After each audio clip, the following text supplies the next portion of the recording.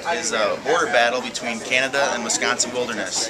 And last night I had the opportunity to travel to Canada and watch the Thunder Bay North Stars against the Wisconsin Wilderness, and we won three to three to two.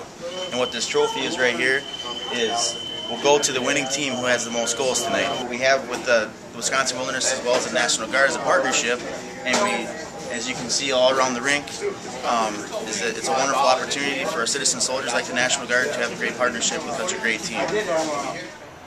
Uh, today we have the uh, second half of the Military Appreciation Night uh, here in Spooner uh, for our Wisconsin National Guard.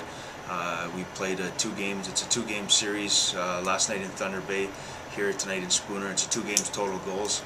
last night we won three to two, so we're up one to nothing for the the second half of the series here.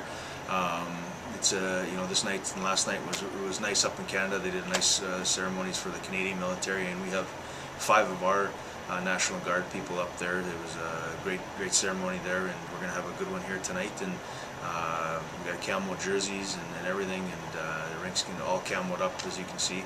Um, and so it's gonna be a lot of fun, and uh, hopefully the people enjoy it. I know the kids will enjoy it, and hopefully the military enjoys it as well.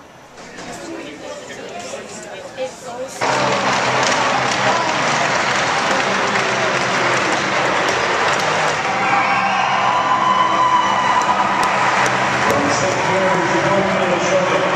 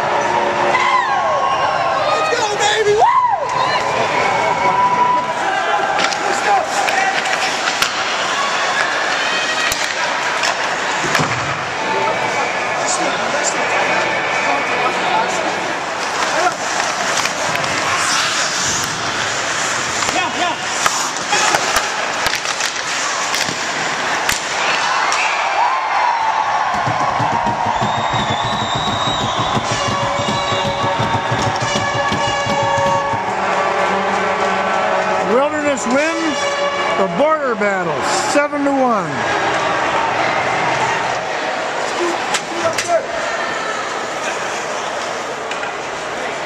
And the traditional fish comes out on the ice.